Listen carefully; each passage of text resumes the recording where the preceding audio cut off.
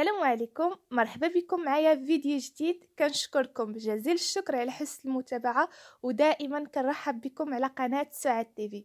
اليوم إن شاء الله غادي نتقاسم معكم مسمنة حلوة معمرة بالكاوكاو بطريقة زوينة بزاف بطريقة اللي سهله ما غاديش تخرج لكم الحشوة نهائيا وما غاديش تقطع لكم نهائيا الكاوكاو ما غاديش يقطع لكم نهائيا العجينة. كنتمنى إن شاء الله تبعوا معايا تعرفوا على المكونات وعلى طريقة التحضير ومتأكدة إن شاء الله غتعجبكم هذه الطريقة وغتستمتعوا إن شاء الله بها كتجي مورقة وهشيشة ورائعة جدا. نتمنى إن شاء الله تتبعوها معايا باش تعرفوا على المكونات وطريقة التحضير. فبسم الله وعلى بركة الله. على بركة الله غادي نحتاجو كأس من الماء الدافئ ما يعادل 150 مليلتر. غادي نوضعو على الماء الدافئ رشة خفيفة من خميرة الخبز غير رشيشه خفيفة ما تكتروش ما بغيناش العجين يخمر بغينا غير العجينة تجينا هشيشه وتجينا زوينة. معلقة صغيرة من السكر اللي ممكن تعوضوها بمعلقة صغيرة من العسل معلقة آه صغيرة من الزيت النباتي رشة من الملح أو قبيصة ديال الملحة ما تكتروش بزاف. غادي نوضعو أيضا نصف كأس من الفينو أو السميد الناعم جدا أو دقيق spécial. إذا ما متوفرش غادي تعوضوه بالدقيق العادي أو الفورص العادي. ملعقة صغيرة من خميرة الحلويات. غادي نخلط السوائل مع نصف كأس ديال الفينو قليلا. وغادي نبدأ نضيف الدقيق تدريجيا. غادي نبداو نضيفو الدقيق تدريجيا ما نضيفوهش مرة واحدة نضيفوه وحنا كنجمعوا العجين. بالنسبة للمجموع ديال الدقيق فالعجينة رفدت ليا آه، جوج كؤوس ونصف. ممكن ترفد لكم أقل بشوية أو أكثر بشوية. كنجمعوا العجينة وكندلكوها قليلا غير بيدينا هكا غير كنديوها ونجيبوها. ومباشرة غادي نحطوها على سطح العمل ونقسموا العجين ديالنا. أنا قسمت العجين على ثلاثة ديال الكويرات. غادي نشكلهم يكونوا قد بعضهم.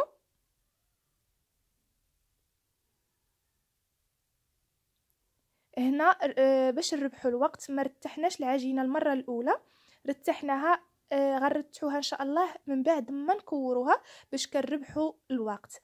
غادي آه، من بعد ما كورتهم غادي ندهن يديا بالزيت وغادي ندهن الكويرات من برا.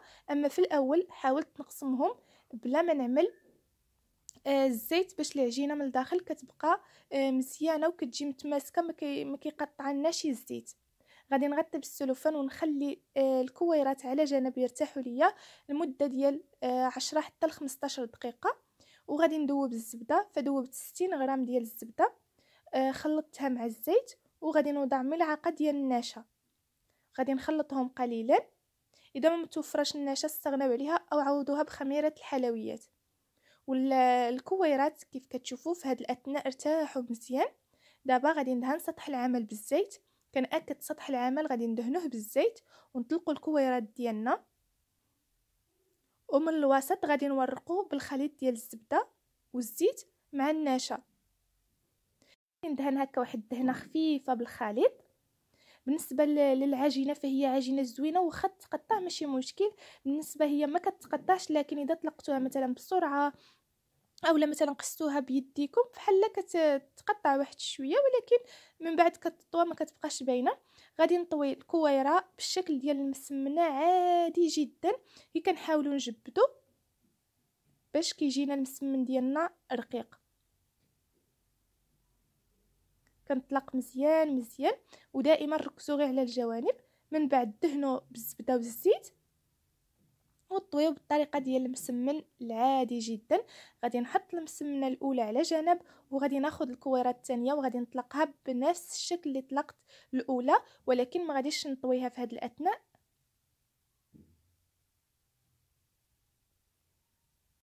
دابا من بعد ما كنطلقوها كندهنوها آه بالزبدة والزيت مع النشا. وما غاديش نطويها غادي نحط آه المسمنة الأولى وندهنها بالزبده والزيت وغادي نطوي عليها يعني ما غاديش آه، نطويها بوحديتها. هكا غادي نديرو مسمنة وسط مسمنة ونطويو بهذا الشكل. ودائما قبل ما كنطويو كندهنو بالزبدة والزيت. من بعد ما قديت المسمنة بهذا الشكل غادي نحطها على جانب وغادي نطلق الكويرة الثالثة بنفس الشكل. كنطلقوا غير بالزيت لأن الحل اولا الجو.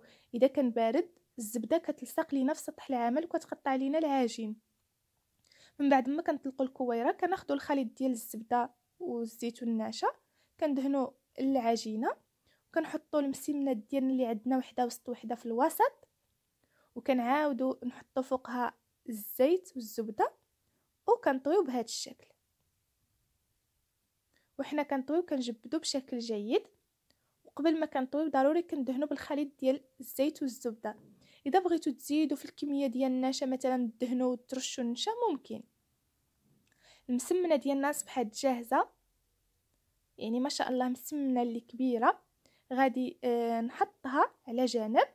غادي نغطيها بالسلوفان ونخليوها ترتاح واحد شوية باش تطلق لينا إن شاء الله بسهولة باش نعمروها. عشرة ديال الدقائق كتكون العجينة تلقاها راسها وضروري تكون مغطية. وإذا بغيتو يعني تطلق لكم راسها بسرعة حطوها في مكان دافئ. غادي نحتاجو هنايا كاس ديال الكاوكاو اللي محمر ومهرمش. آه إما تحيدوا ليه القشر أولا تخليوه بالقشر ديالو. ومعلقه كبيرة من السكر كلاصي أولا السكر الثقيل. إذا ما عزيزاش عليكم الحلاوة استغناو عليها.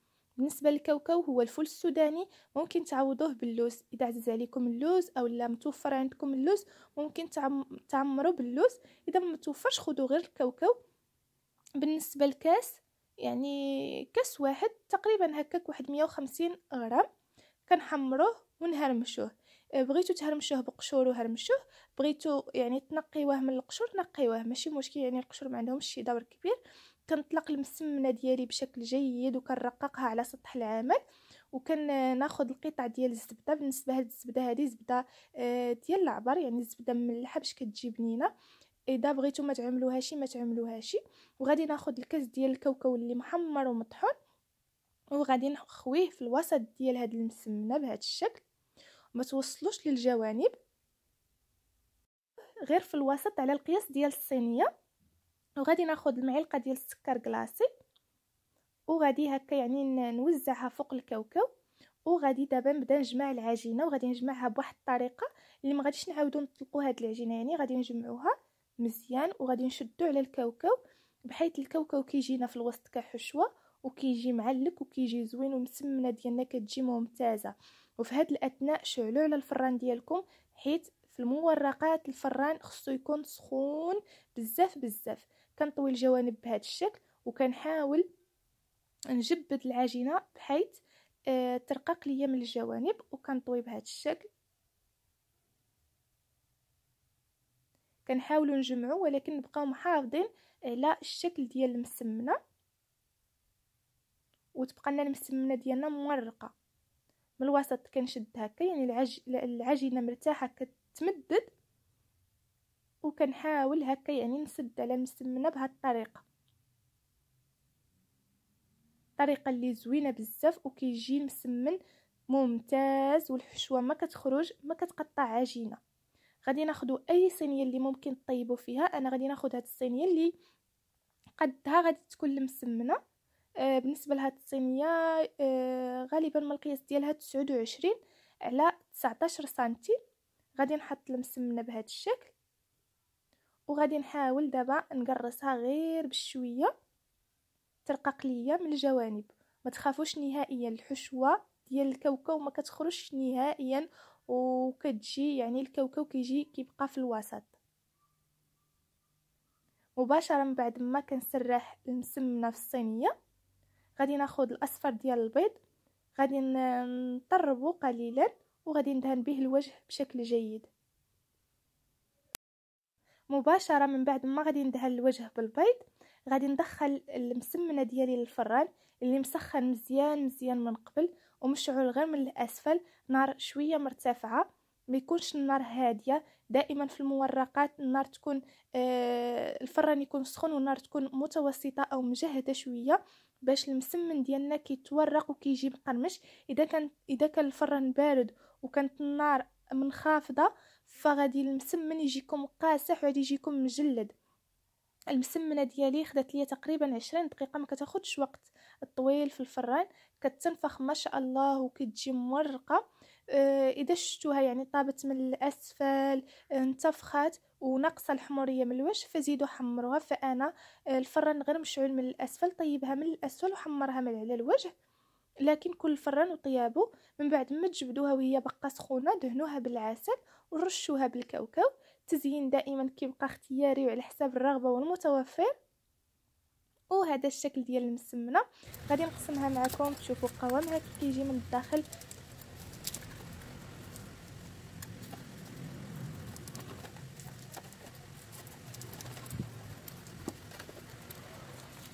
فما شاء الله كتجي مقرمشه آه كتجي جمعة ما بين القرمشة والهشاشة و... ورطيبه من داخل والحشوة كتجي معلكة. فكتجي رائعة شكلا ومذاقا وقواما كتجي آه، مسمنة اللي رائعة جدا. كنتمنى إن شاء الله إنكم تجربوها فعلا كتستحق التجربة. غتستمتعوا بها إن شاء الله وغتعجبكم وغتسهل عليكم. وكنضرب لكم إن شاء الله موعد في فيديو آخر بحول الله مع وصفة أو اقتراح جديد. كنتمنى دائما نكون عند حسن الظن ديالكم. آه نكون خفيفة ظريفة على قلوبكم.